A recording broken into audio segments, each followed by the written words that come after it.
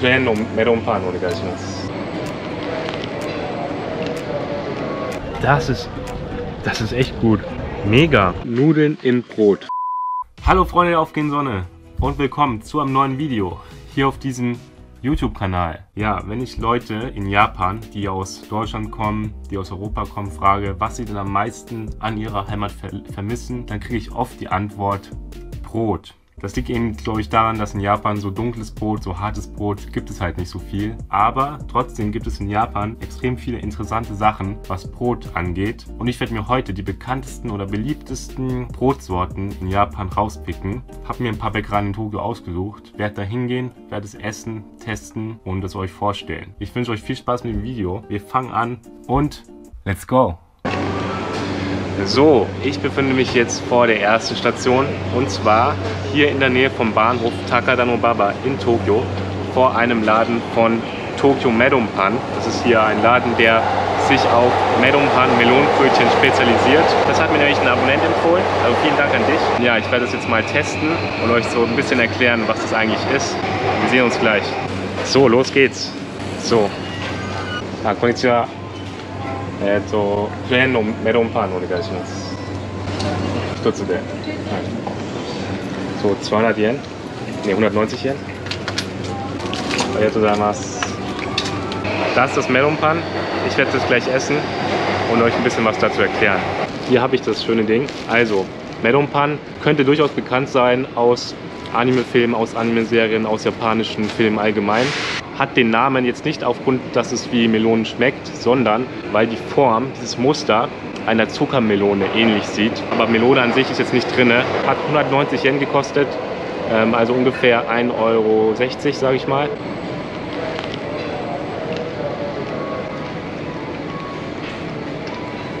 Mhm. Das ist gut gelungen. Also ich habe ja schon ein paar Melonen Pan gegessen, auch als im Video, aber vor allem eben von Convenience Stores aus dem 7-Eleven. Und es ist eigentlich kein Vergleich, als wenn du es in einem richtigen Laden in so einer Bäckerei kaufst.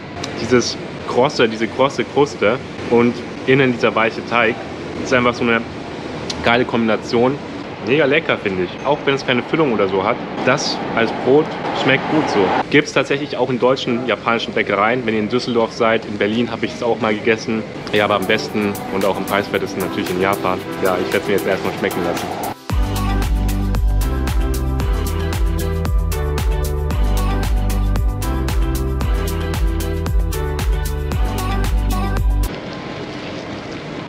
Mmh. Das war echt lecker. Was ich noch vergessen habe zu erwähnen ist, dass es diese Melonenbrötchen, also Melonpan, in verschiedenen Geschmacksrichtungen gibt. Also der Laden, wo ich war, die hatten auch irgendwie Schoko, Zimt, damit Schokostückchen drin und so. Absolut empfehlenswert, könnt ihr ja gerne mal ausprobieren, vielleicht auch in Deutschland. Und ich gebe dem mal eine 8 von 10 oder 8,5 von 10, sage ich mal. 8,5 von 10. Extrem gutes Melonenbrötchen. Das Einzige ist, ich hätte mich gefreut, wenn das schon ein bisschen wärmer gewesen wäre, weil es ja auch dort herstellen. Wäre es geil gewesen, wenn es noch ein bisschen warm wäre und noch so richtig frisch aus dem Ofen quasi. Ja, dann wäre es 9 von 10 gewesen.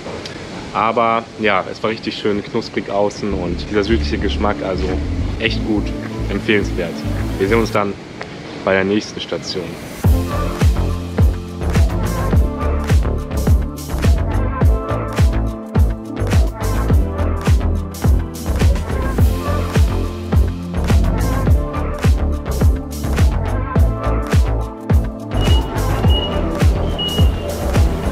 So, ich bin jetzt im Bezirk Shimokitazawa oder in der Gegend Shimokitazawa hier angekommen. Ähm, das ist eigentlich bekannt dafür, dass es ein ziemlich Secondhand-Modeviertel ist. Ich bin hier aber dafür da, um ein Karepan zu essen, also Currybrot. Äh, was es genau ist, seht ihr gleich. Ich werde mir das erstmal holen. Und zwar gibt es ein Geschäft hinter mir, was dafür sehr beliebt sein soll. Und ich werde mir da jetzt eins holen und wieder essen. Wir sehen uns gleich.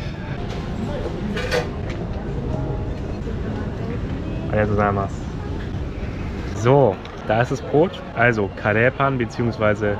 Currybrot, wenn ich es übersetzen würde. Ähm, ich habe euch ja schon von dem Äh, vor zwei Wochen habe ich ein Video veröffentlicht, da habe ich unter anderem japanischen Curry gegessen, also mit Reis. Das ist jetzt quasi ein bisschen die Brotversion davon. Also das Ganze sieht so aus, also außen schön frittiert und innen drin ist eben die Currysoße. Hat in dem Fall 250 Yen gekostet, äh, also umgerechnet so 2 Euro.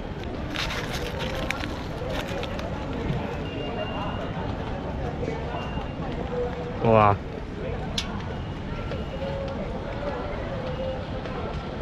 Das ist, das ist echt gut. Mega. Ich habe in dem Fall eine Version genommen. Also hier ist die Currysoße, ich weiß nicht, ob man das sieht. Und mit Mozzarella-Käse. Und das harmoniert wirklich sehr gut. Außen so knusprig, innen schön mit Käse, mit Curry, schön warm. Kann ich auch jedem empfehlen. Mega. Also wir kommen gleich zu meiner abschließenden Bewertung.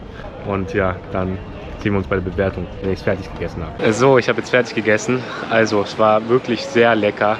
Ich gebe dem Ganzen eine 9 von 10. Das gebe ich relativ selten 9 von 10, aber in dem Fall gebe ich es, weil es wirklich lecker war. Viele würden sich jetzt interessieren, wann gibst du denn eine 10 oder wann gibst du eine 9,5 oder so. Eine 10 würde ich erst dann geben, wenn es so richtig, ja, wenn es wirklich was extrem, extrem Leckeres ist, wo ich fast schon deswegen mir die Tränen kommen oder so, wenn ich das essen würde. Aber eine 10 auf diesem Kanal wird vielleicht auch irgendwann mal kommen, aber noch ist es noch nicht so weit. Also 9 ist schon extrem gut, 9 von 10 und dann sehen wir uns bei der nächsten Backware.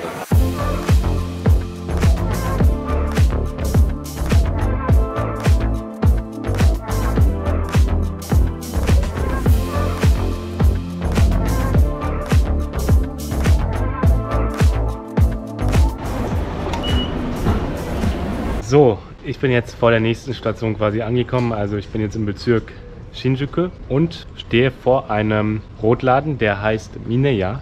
Und der befindet sich eigentlich total abseits von den ganzen hohen Wolkenkratzern und so, wofür Shinjuku ja eigentlich bekannt ist, sondern in so einer ziemlich ruhigen Straße. Und dieser Laden, der sieht auch ziemlich traditionell, ein bisschen alt aus. Ja, ich bin mal gespannt, was sie da so haben, wie das aussieht und wir sehen uns, denke ich, dann drinnen. Ah, こんにちは。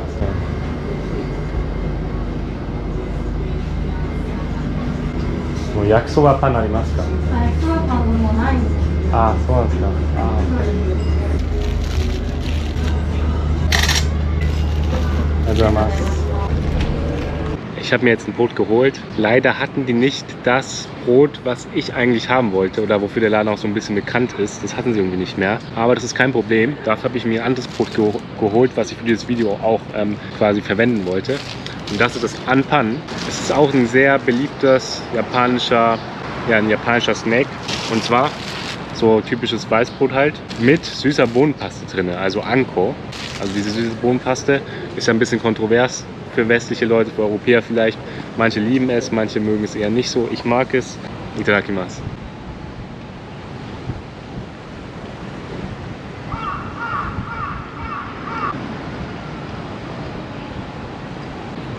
Das ist, glaube ich, einer der besten Ampan, die ich gegessen habe. Ähm, die gibt es natürlich auch so im Convenience Store, aber von so einem Bäcker das zu holen, ist echt schon ein Unterschied.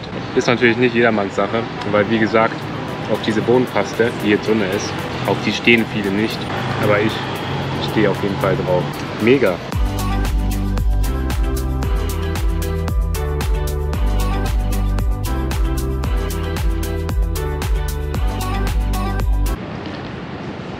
Okay, wieder fertig gegessen. Ich hatte vergessen zu erwähnen, wie viel das kostet. Das hat in dem Fall 150 Yen gekostet. Die Bezahlung habt ihr gesehen. Ziemlich billig, 1,10 Euro oder so, 1,20 Euro in dem Dreh. Meine Bewertung, ja. Was ist meine Bewertung? Ich gebe dem Ganzen eine 8,5 von 10. Für ein Anpan war das extrem gut. Das Ding ist auch, das Anpan mag ich sehr, aber ist jetzt nicht mein, mein absolutes Favorite von allen Sachen, die es in Japan gibt und so oder an Snacks, die es in Japan gibt. Deswegen hat das Spiel jetzt auch eine Rolle. In dem, was es getan hat, war es sehr gut. Das Brot war irgendwie nochmal ziemlich gut. Es hatte noch so eine besondere, eine gewisse Härte in der, in der Weiche. Das war es dazu. Wir sehen uns dann bei der letzten Station. Wir sehen uns dann später. Bis dann. So, neuer Tag, neues Glück. Ich werde jetzt die zwei letzten Brote, die ich euch zeigen will, äh, hoffentlich besorgen. Und zwar befinde ich mich mittlerweile ähm, vor einem Laden, der heißt Shimizuya in der Gegend ähm, Nishi-Ogikubo in Tokio. Ich hoffe, die haben das, was ich suche. Und wir gehen jetzt einfach mal rein. Okay. Ah, konnichiwa. Yakisoba pan to はい。 Schoko Korone. はい。 本語上手だねあありがとうございますあのハーフですあそうなのそうですねこっちにいたの育ちはドイツなんですけどあ Ah, ja, Meister. Da. Ich habe tatsächlich genau das gefunden, was ich äh, gesucht habe. Ich habe das natürlich auch vorher auf Google Bilder so ein bisschen gecheckt, ob wir das haben. Und ich bin relativ früh hierher gekommen, sodass nichts ausgekauft wird. Ja, wir werden jetzt nochmal gemeinsam essen zum Abschluss. Jetzt kommt die Krönung. Genau, wir sehen uns gleich. Ich habe mich jetzt in einem Park in der Nähe niedergelassen. Ich werde euch jetzt diese bestimmten speziellen japanischen Brotsorten zeigen. Fangen wir mit der, mit der einen ganz speziellen Sache an. Und zwar haben wir hier das sogenannte Yakisoba Pan. Also, das Ganze sieht so aus. Das ist quasi so ja, Weißbrot ähm, und drinnen sind Nudeln. Also Nudeln in Brot. Auf die Idee muss man echt erstmal kommen. Und Yakisoba sind ja gebratene japanische Nudeln. Da haben wir auch so dieses Benishoga, das Pinke. Das ist quasi eingelegter Ingwer. Das benutzen die auch manchmal in Ramen. Also, das werde ich jetzt einfach mal ausprobieren. Hat nur 150 Yen gekostet. Also ziemlich billig. Itakimasu. Der Test.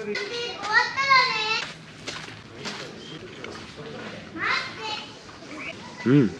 Mir schmeckt es wieder ziemlich gut, muss ich sagen. Man könnte denken, so Kohlenhydrate auf Kohlenhydrate, Nudeln, Brot, mh, passt nicht so.